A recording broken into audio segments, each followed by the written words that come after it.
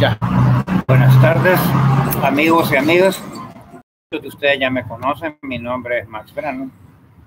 Vengo siendo uno de los filósofos de la calle de la República de El Salvador. Eh, he cuadrado de hacer crítica cultural la crítica cultural no consiste en hacer pedazos de nuestra cultura, sino que en buscar las maneras de que siga adelante, se desarrolle y sea algo más viable y más agradable para todos. En esta oportunidad quisiera dirigirme a esta ciberaudiencia en torno a dos temas. Eh, uno de ellos es eh, el mundo inmediatamente futuro que nos va a tocar vivir tras el final de esta pandemia. Y digo de esta porque vienen otras no que yo lo sepa o que esté en contacto con círculos conspirativos que me lo hayan dicho, sino que es natural suponerlo así. Está habiendo un cambio climático y todas las bacterias, virus y protozoas que en general nos rodea y que andamos cargando en nuestros cuerpos se han adaptado al cambio climático, se han adaptado a la, a la carga de penicilinas y antibióticos que normalmente les ponemos y son muy difíciles de erradicar. Esta adaptación no consiste en que estos animalitos son simplemente más aguantadores, sino que han mutado. Sus núcleos, sus nucleolos, sus cromosomas no son los mismos que hace 20, 25 o 30 años y pueden cambiar en una noche, una sola noche. Para eso no hace falta proyectos secretos militares ni que el bicho se escape de un laboratorio, aunque eso desde luego puede pasar. Está en el número de las posibilidades, si no, no existiría un centro para la defensa de las enfermedades infecciosas como el CDC en Atlanta. Existe porque las posibilidades que acabo de mencionar son bien reales. Y se puede llegar al día en que se tenga que ejercer el control militar de la calle para que la gente se cure, se vacune o, para, o por lo menos para que no propague.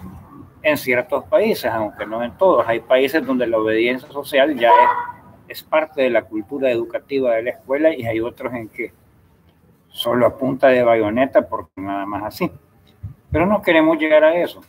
No tenemos por qué estar en esas incomodidades que aparte causan muertos y si tan siquiera la muerte fuera de un solo, pues qué bien, pero es precedida de vómitos, diarreas, enfermedades de todo tipo y una gran quiebra familiar o individual, como ha sido en mi caso. Este, no, lo que se trata es que estas nuevas plagas, cuando estén, queden circunscritas a zonas muy pequeñas, afecten el mínimo número de personas posibles y si posible fuera, pues que no estallen. ¿Cómo lograrlo? Hay dos caminos y se deben intentar los dos, no que uno o el otro. En primer lugar, iniciativas humanas de integración. Lo que más necesitan todos los pueblos, Estados Unidos en cuenta, y quizás el que más lo necesitan porque es donde nos quieren vender que ha habido más muertos por la pandemia, lo cual no lo sabemos porque yo quiero hacer esta reflexión. Fíjense los que siguen mucho la televisión, sobre todo CNN, el noticiero de la BBC y el Euronews. Durante toda la pandemia no hubo cifras de China. Se sabe que ahí estalló, pero China no sometió cifras de contagios, de encamamientos, de nuevas infecciones ni de muertos al escrutinio de la prensa internacional. No lo hizo. O sea, lo único que China reportaba es que regiones había estallado el problema y donde la estaban conteniendo, pero cantidades, así como eh, llevaba la Universidad de Durham contabilizadas en Estados Unidos o, la BBC, que nos decía tantas camas nuevas, tantas infecciones nuevas, tan sola vez. Así que pudiera ser que China sea la que ha sido más victimada y no lo ha querido admitir. Digo, pudiera ser, no es que me consta pues pensando también en los chinitos que son hermanos nuestros, son seres humanos y son los que nos podrían contagiar en la siguiente oportunidad si alguien no arroja ideas nuevas que se puedan llevar a la práctica, quiero decir esto. Las iniciativas de integración consisten en tres caminos. Primero que nada, reforma ambiental. Ya no se puede seguir esperando que los gobiernos centrales ataquen los problemas ecológicos principales de cada país. Los gobiernos centrales no lo van a hacer. Primero porque son muy lentos, no por malvados, sino que así son los sistemas de administración pública, son lentos. Y segundo porque las grandes empresas corporativas, tanto nacionales como extranjeras, que ahí invierten, son las principales cotizantes de impuestos y las necesitan. Entonces no las pueden afectar mucho porque se van o evaden impuestos. No. La, la, reforma ambiental que necesitamos en todo el planeta a futuro debe ser localista. Debe partir de los alcaldes, de los consejos municipales, de las ONGs, eh, donde la zona sea industrial, de los sindicatos, donde hay mucha actividad ganadera o avícola que puede dar lugar a nuevos microbios o microbios mutágenos. Tiene que depender de las cooperativas de producción. El que produce en contacto con la naturaleza es el que mejor sabe cómo hacer para no agotarla, para no ensuciarla y para que las bajas colaterales que tienden a producir estas mutaciones microbianas no lo afecten a él ni a sus empleados. Si además trata de volver legislación municipal esto, que es mucho más sencillo que llevarla a una asamblea o a un congreso nacional, estaría siendo patria. Porque lo que resulta en una municipalidad normalmente va a resultar en otra, siempre que pertenezca a la misma región. Vaya, por ejemplo, los anillos de administración acuíferos. En todos los países, al menos así ocurre en El Salvador, un mato acuífero no sabe dónde termina una jurisdicción municipal. El mato acuífero sigue y suele estar debajo de cuatro, cinco, seis o siete municipios. Una administración acuífera local impide que el dinero se vaya de la región y queda invertido, porque una buena administración acuífera ayuda a la agricultura y a la alimentación en canasta básica de los de allí. Eso significa que las agencias centrales de agua poco a poco tienen que ir desapareciendo pero no para quedar en manos de compañías internacionales o de otras agencias del gobierno central, sino que de los locales, tanto como se pueda. Eso tendría que ser parte de una reforma ambiental. El aprovechamiento de las mareas para generar electricidad, como en Aruba, Curazao y Israel. Esas son tecnologías que ya no son secretas, son bien conocidas. Es simplemente establecer buenas relaciones de intercambio científico con estos países. La reforma ambiental pasa también por una reforma diplomática. La presencia de demasiados consulados y embajadas de un país en otro y viceversa tiene demasiado de festivo, de coctelitos, jejeje, jajaja, los héroes nacionales, invitemos cueros para ver a quién le podemos caer, eh, la foto de rigor, ¿verdad? Y más que todo una como celebración permanente del ego, no. En lo futuro, las relaciones diplomáticas deben ser para eh, involucrar el intercambio de información técnica y científica, principalmente en materia de salud y en materia agronómica. Y de esa manera estaremos contribuyendo todos a hacer de nuestros respectivos países casas limpias. Eso es lo que se respecta a reforma ambiental.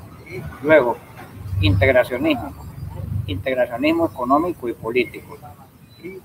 Para muchos de estos proyectos, especialmente en los países más corruptos, por el hecho de que son corruptos, que no tiene que ver con el tamaño del país. Por ejemplo, hay países muy grandes que no me gustaría para nada que fueran así, pero que ya tienen una fama bien lograda como el nuestro, como El Salvador, tales cuales, por ejemplo, Colombia y México. Eh, pues el problema no es la extensión del país ni la falta de recursos, sino que la gran corrupción rampante. Entonces, esa corrupción hace que no haya como los dineros necesarios, ni por lo tanto los profesionales a la altura de las circunstancias para proyectos como los que he hablado. ¿Cómo combatir eso? Pues para poder adquirir las tecnologías adecuadas y el know-how, los países deberían regionalizar sus administraciones científicas y de salud. Regionalizarlas. Él es el hijo del dueño de esta casa. Este no es mi hijo, claro regionalizar las... Ah, Buenas. Hola. regionalizar la, la, la administración científica de estos países significa que se comprometen a adquirir patentes extranjeras para crear las propias, en provecho de los países que primero los hayan beneficiado. Se comprometen a estar siendo monitoreados fiscalmente en términos internacionales para prevenir la corrupción y se comprometen a enviar grupos de, podríamos llamarlo así, misioneros laicos, o sea, no propagadores de una religión, sino que de conocimiento científico, para que lo que se logre descubrir en materia de administración sanitaria pública, de preservación del agua, de reciclamiento de materiales biológicos, poderlo propagar a otros lados. Entonces, de esa manera, lo que una serie de países, por ejemplo, en el caso de Centroamérica, toda Centroamérica y no nada más la República de Salvador logren, se traduce en avances también para los que nos hayan ayudado. Pero tiene que ser un avance monetariamente controlado para que no vaya a haber despilfarro, desvío ni latrocinio de fondos. Forma parte del integracionismo humano que tiene que venir también la reforma de educación. Pues, nuestros hijos, nuestra descendencia va a tener que seguir yendo a la escuela, aunque sea digitalmente. Y es muy necesario que sea digitalmente para evitar la violencia en las escuelas, la violencia delictiva en la calle y los contagios. Pero lo principal es extremo, porque empezó a llover más. Que, que el pensum tenga que ver con cómo prevenir futuros contagios. Más salud, más conocimiento de la biología. Vamos a entrar porque está empezando a llover. Sí.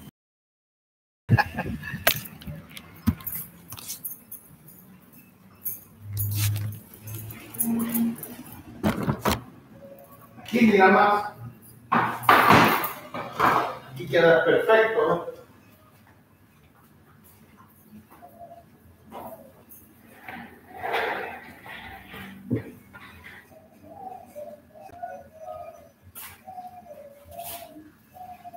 Ver. En países de enfermos no procede estar enseñando física nuclear, cambios geodésicos, eh, de hielo de la Antártida, o en fin, tantas cosas elevadas que hay en ciencia. En países de enfermos lo que procede es en realidad industrializarnos hacia el área de la medicina y sobre todo de la medicina tropical, porque cualquier biólogo, le dirá que la mayor parte de la flora y la fauna microbiana del mundo se concentra en las áreas tropicales. Y ahí es donde, por lo tanto, las nuevas pandemias van a surgir. Pero ahora quiero ir al meollo de la cuestión. ¿Por qué nos ha caído esta pandemia? Pues no nos las ha tirado como maldición ningún Dios, en primer lugar, porque jamás se ha podido probar que hay un Dios. No estoy diciendo que no lo hay, es decir, no es una afirmación categórica que hago, pero eh, de haber un Dios, cabe suponer en él, según dice la primera carta de San Pedro, que es bueno y justo. Y aunque el planeta Tierra, los seres humanos, lo hemos transformado en un infierno, hay un montón de países donde la pandemia ha azotado y hay que reconocer que en términos generales son gobiernos, poblaciones y territorios que han sabido maniobrar en la historia humana y manejarse con bondad y justicia.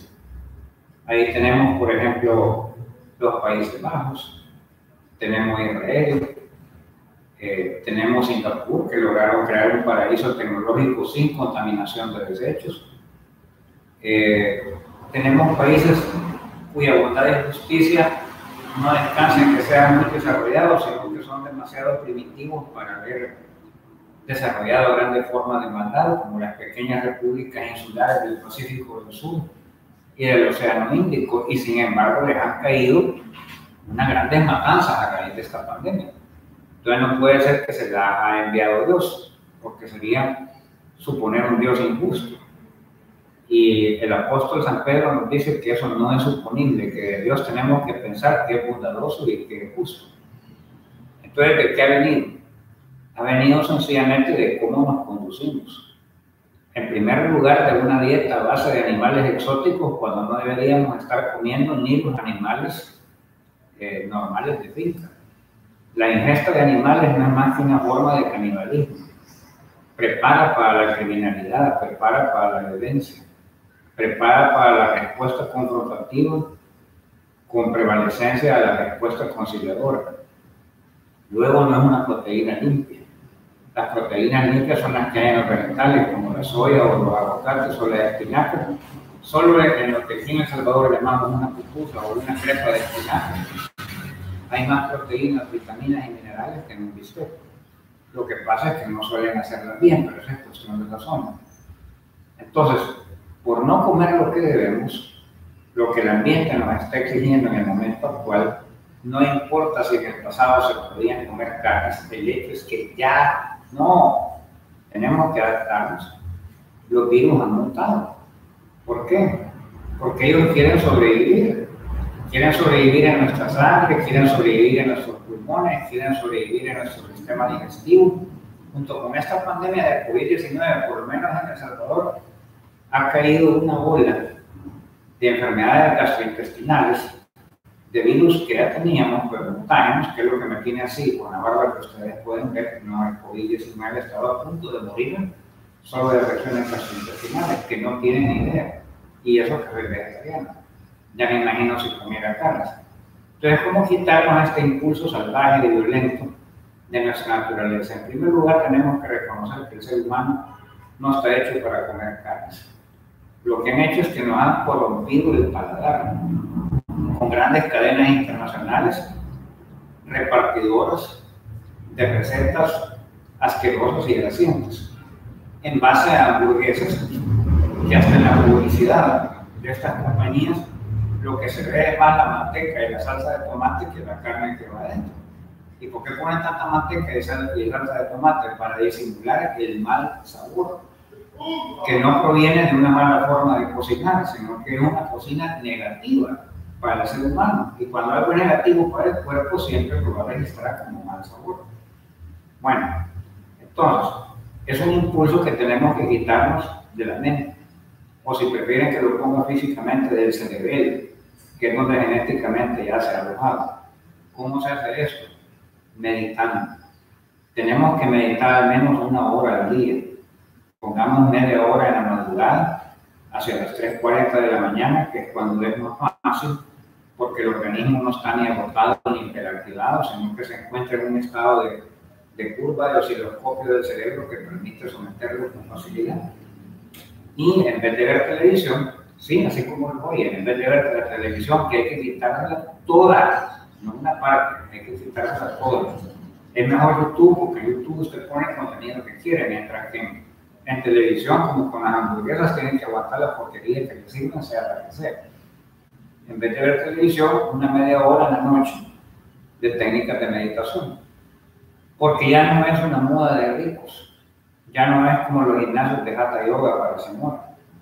La meditación ahora es para levantarnos el sistema inmunológico, para reponernos lo que hemos estado enfermos y para crear nuevas cantidades de anticuerpos e irlos modificando los que no quieren estar enfermos. La meditación es una vacuna psicosomática, es un fortalecedor profiláctico.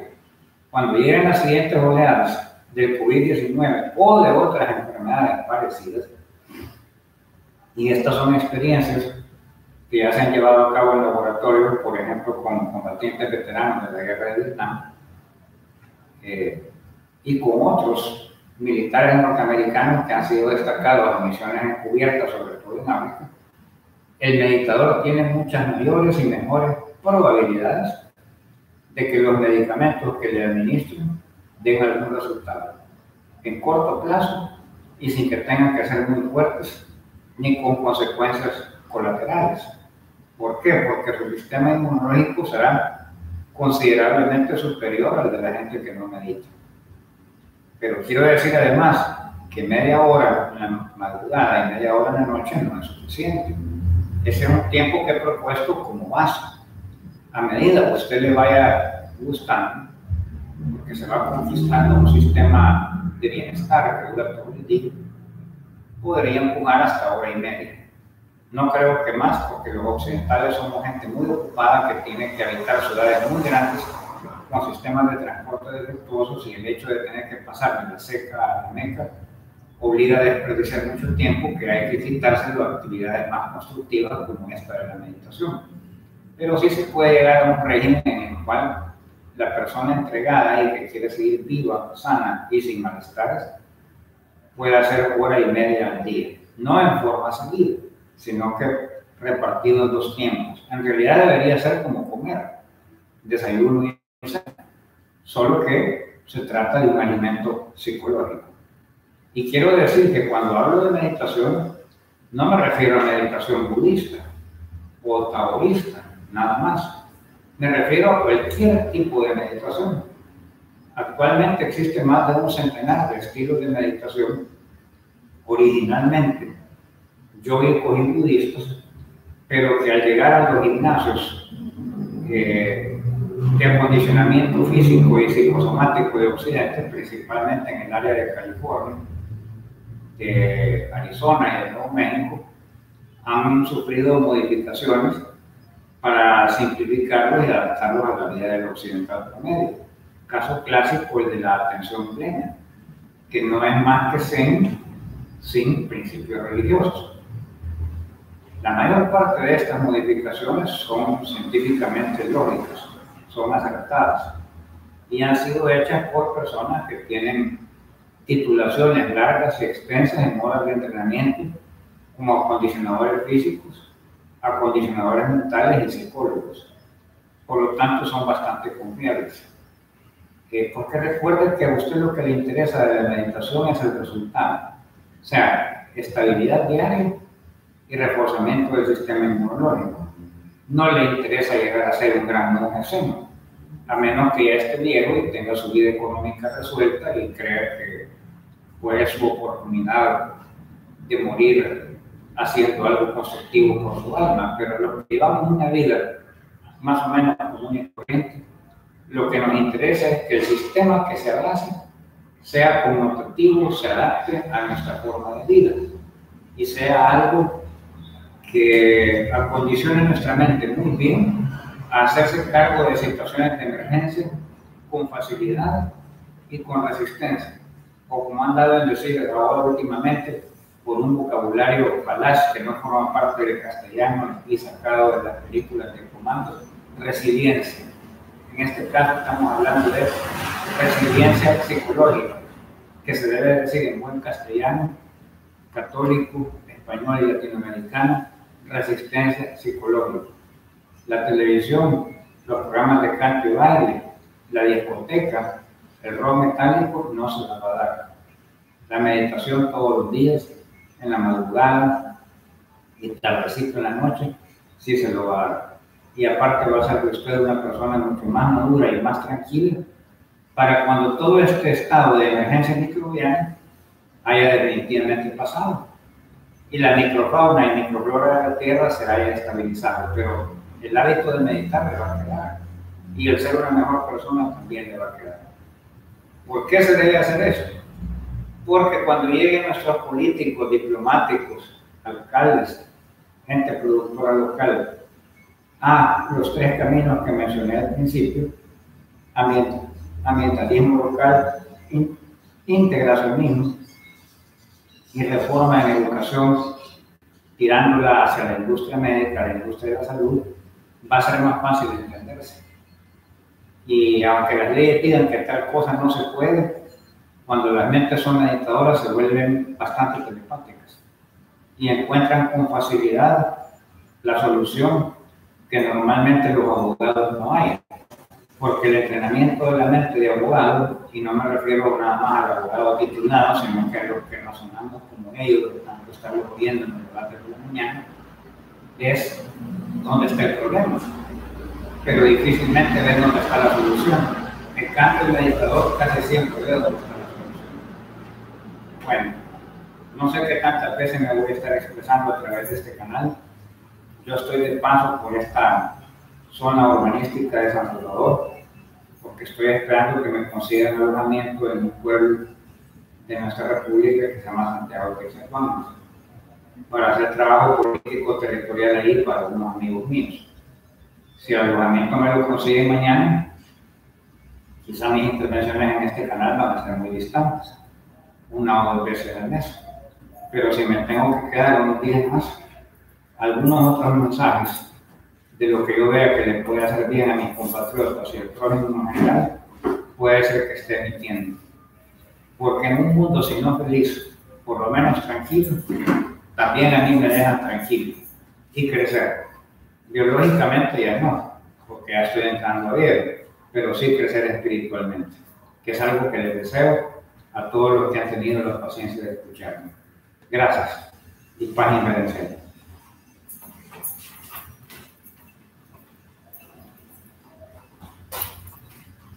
Ponete los ojos 10 minutos, a ver cómo a ver si te parece.